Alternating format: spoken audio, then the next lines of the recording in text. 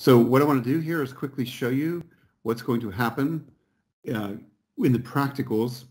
And to do that best, I want to be able to share content on, a PowerPoint deck. The PowerPoint deck that I uh, share with you, I will put it across into Microsoft Teams so you'll be able to see it.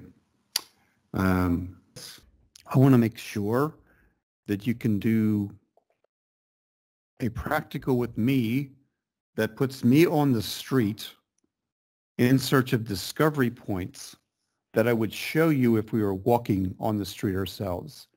And those points are important because they would have been here in Clonmel in 1918 during the last pandemic.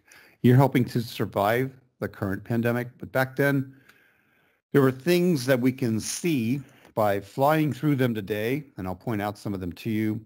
And then on the day itself, there'll be a, a room that you'll see on Zoom. I'll send invitations to everybody to join a Zoom room.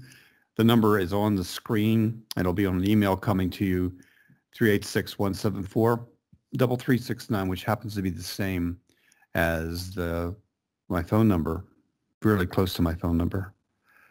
We'll do a Zoom tour. I'll walk it, and if you have questions, I'll stop and answer them.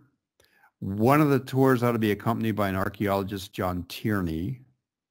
You could ask me to stop and get really close to something that you want to annotate as an artifact or something that relates to an object you put into your sketch notebook. Or you may want to refer to the thing you see while answering a question you have to answer in November about surviving the pandemic. And then I'm hoping that some of you will share what you're focusing on about this item as an audio on Swell or as a note inside your notebook. So I use Google Earth before I do anything, and I'm going to just play you a sample of that. So I would ask Google Earth first to tell me more about the space I'm going to walk on. So I want to start where people used to sell their horses at the end of World War II it's near the showgrounds. Today it's a shopping center, some of you may know about. And the lay of the land, pretty much the same back as it was in 1918, except a whole lot more houses and buildings between the old showground and the river. It was there was a there was a lot more marshland in this area back then, and I'm not too sure what left and right, fore and aft at this moment would have been there in 1918. I'm not an archaeologist. I'm not a historian. But there are things I can spot based on the shape of the buildings, the chimney pots overhead, the archways. So here's one coming up. Nutt O'Keefe, the furniture company that lost its roof during high winds. But across the street, Kickham Barracks, where some of you catch a bus. Big archway there where the horses would go in. The caissons would came rolling out. And there's a large officers' mess through that area that's a historical building, and then there's a chapel further down the street. You can see the steeple of it, and all the soldiers would have met in that chapel and had observations of, of passing any any deaths that occurred with the the officers and the enlisted station there would have happened there in that church. And surprisingly, today in that archway to the right, there's a mortician, a mortuary officer who was retiring. So that's of interest to people looking at how the local area is set up. Now we're, we're crossing over a mini roundabout, which used to be a river tributary going towards the Suir.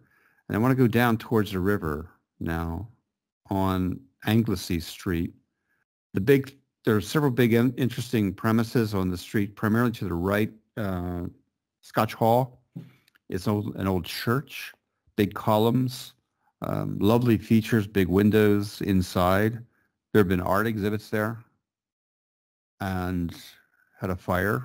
Used to be a furniture shop, but it definitely was there in 1918. Now, if we were doing this as a Zoom tour, you could ask me to stop and take a picture or get closer to the columns and say, hey, that's a discovery point. Along the way here, anything with a large curved archway is probably an entranceway to a mews or to where horses were stationed behind the big Georgian home. So that's a mews there, that blue one, blue door, going to uh, an area where the horses would have been stabled.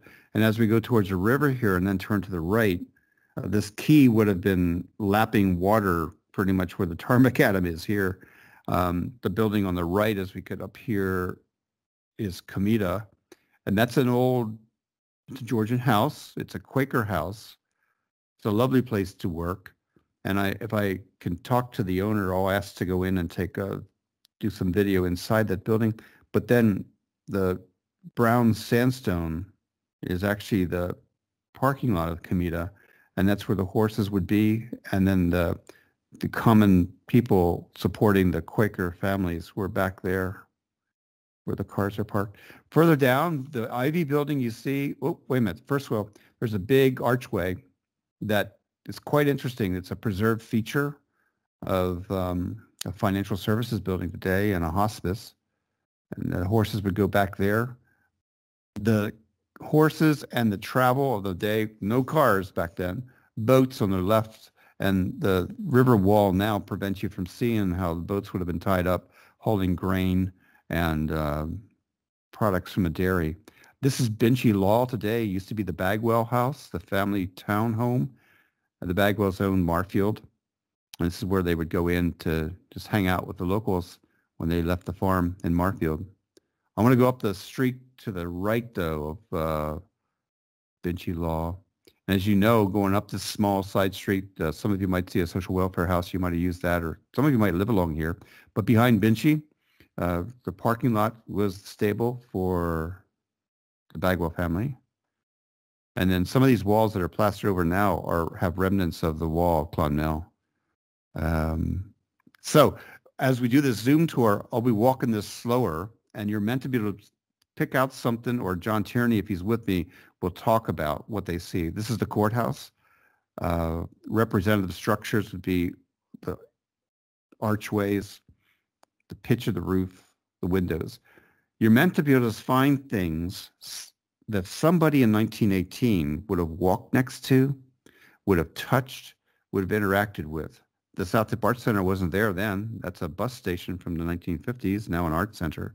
And we're coming up to an area where I'm sure a lot of you walk, which is uh, part of Parnell Street, where it used to be a subway, but now is a restaurant.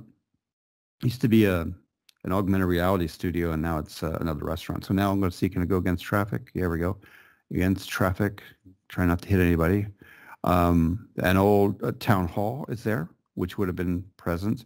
The nationalist, the man, the nationalist would not have been there in 1918, but he does represent the 1916 uh, fighters, uh, militia that, that left Tip to fight in, in Dublin. The Hearns Hotel is a stop-off point from a major departure point for Bianconi's carriages. And then if you stop me along the way here, you can see that there's a stile that you'd step on. I just pointed at um, a, a, marking along the street that marks what Bianconi's carriageway did. And there's a pub up here on the right called the Coachman, which is from that time as well, where people would hang out and wait for the coaches to start. Oh, the Blue Office is no longer running. Fieldmaster's a really lovely art shop, or art supply place. Now you have to go to an industrial park to see your art supplies and fine stationary gear. Uh, old buildings known by the columns, the structure of the windows, um, looking for fixtures that you'd say, you know what, I would have hung out here not ate a sandwich on the street, but probably would have run into somebody in 1918 as they're going to and from the showgrounds to look at what's for sale, the horses, the cows, the pigs, um, the bread, and other products. I think some of you might have used some of the fast food places along the side here, uh, maybe the Junction Cafe. There's a really nice ice cream parlor next to it now behind uh, the Mayfair Cafe and so forth. So I'll stop this video here, this little walkabout. And um, yeah, go to the rest of the, the slide deck. So the practical what happened, I'll be walking the same way inside the Zoom room, and I'm asking you to either find something during the practical. Now you can walk this yourself, but we can't do it as a gaggle for uh, separation, COVID separation purposes. I would like you to observe what I do on Thursday and Friday interrupt me in Zoom by either primarily just shouting, you know, saying something, hey, can you stop there? Tell me more about this or show me that. So it's like as though you're you're um, beaming into an event that's happening and you're doing it so that you can experience the setting and the environment. If you have enough in the way of a discovery point and you could respond to this audio clip that I have made about do you have a discovery point from the last pandemic? That'd be handy because half a dozen of you responded to the last Swellcast I put up and it was really good stuff. And people in the wider international community told me that they appreciated hearing primarily your accent as well as your observations. So this is a real question because it's a real essay question. You surviving the pandemic is a question. And if you could go back in your own family history for people that were on the streets in 1918, if you had snippets of family history or an awareness of how people survived in the last pandemic, and you were able to share it and it becomes part of the essay that you write, that's good. If you're able to share it beforehand as an audio comment that appears on Swell, that's worth one mark in the CA portion of media writing. And if you're timid about your voice and rather just share a note, a written note about it, put that inside your class notebook and I'll, I'll see it and award marks there. Okay. Everything I just mentioned is saved inside of Microsoft Teams. It's a stream. It's linked in Moodle to the media writing module and to the media writing teams area of our Office 365 environment on the Clonmel Digital Campus. I also think it's important to go back in time using the OpenStreetMap project and borrow some of the very rich heritage information that has been shared by advocates of OSM, the OpenStreetMap. So, thanks to John Tierney, the archaeologist, I discovered bits of work other people have done marking discovery points in Clonmel, places that you'd want to find if you were a heritage tourist or a culture vulture or somebody backpacking through your roots. Lots of Americans have Irish roots, and it really means a lot to be able to zero in on pieces of the landscape where there are stories that are parts of one's family heritage. Let's follow the OpenStreetMap project through the uh, handiwork of a person that I think I saw behind the reception desk of Rothe House. Here it is. Okay, it's Bernie Goldbach, and we're looking at the OpenStreetMap concept that's been shared with regard to a walkabout in Clonmel. Work was done by Anna Caroline Distel you might know her from Rothe House in Kilkenny. She walked along Nelson Street and she found herself in the realm of the Clonmel Courthouse. So I've extracted some work that she's done from YouTube and watched what she did in her YouTube tutorial with her Android phone while tracking her walkabout. She used a track logger called OSM Tracker for Android. And as she walked around, her phone recorded a trace in purple on a map. And it was up to her later to take the trace to find exact corners of buildings, features on the pavement, street furniture, and things that we will look at to make an awareness higher of what 1918 Clonmel would have been. What Aaron Caroline's doing is she's grabbing pieces of physical landscape and she's marking them as features that actually support the Hidden History Museum's displays because inside the Tipperary Museum are artifacts from many of these places. And then what you do, if you follow this project, is you can connect with it, like several students from the presentation secondary school are going to do. Grabbing the feature of a building or a piece of a plaque or a memorial or street furniture. And if you use the OpenStreetMap metaphor, you mark these features where they are now and where they would have been back with old maps of 1918 Clonmel. So in this particular case, we're looking for where the courthouse is on a map that would put us in the pandemic era of the Spanish flu. We find the courthouse feature and click on it. We're not doing this in the creative media, of course. We're sketching features that may relate to the things that intersect with OpenStreetMap, the project, and the, the heritage objects that are around us virtually on maps and collections and actually by the physical space we see. I'm showing you what other people have done with OpenStreetMap because what we're doing, a simple walkabout, to find features that may be listed in OpenStreetMap, all connect and coalesce in a nice collaborative way. So you can see what the what a, a user of OSM is doing, grabbing the courthouse, uploading all the features of the courthouse that she has recorded with latitude and longitude and specific place details.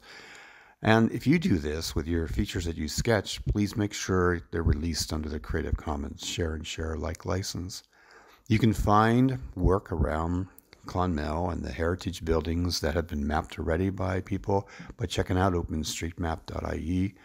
I think it's a wonderful project, one we're going to be supporting with our Zoom walkabout. So, we've had a fly through using an outline of the media writing stream in the Clonmel Digital Campus. Some really helpful work done by the OpenStreetMap project by Anna Carolyn. And let me share with you a hint of what this looks like when you accompany me, Bernie Topgold, on a walkabout down Davis Road, Anglesey Street, the Old Quay, Nelson Street, Mitchel Street, and to the Old Guard. There will be links to everything I talked about here inside of Moodle, inside Microsoft Teams for media writing. I'm Bernie, Topgold on Good Social Networks. Hope to see you making your discovery points and sharing a memory that you might have discovered the last time we survived a pandemic. Bye for now.